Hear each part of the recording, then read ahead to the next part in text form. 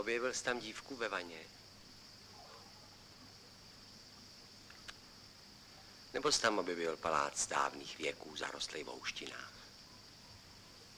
Poslyš, komiku. Jsi si nějaký jistý. Ty starý lichotníku, tobě taky neujde nic. Bylo by zapotřebí se tam ještě krapet podívat. Všem hlavně tam, kde jsem byl prvé já. Už nikdo nikam nepůjde, už to mám všeho taky akorát. Hlídku drží Smajla Basta.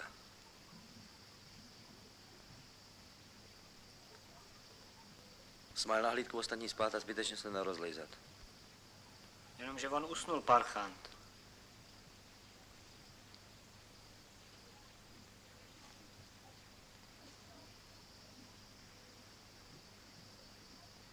Když se vrátil tam ten na plácek, já se ho ptám. Smajle, co bylo v tom křovi? Nic, co by bylo? A ty na to rozden říkáš, jsi bílej jako smrt.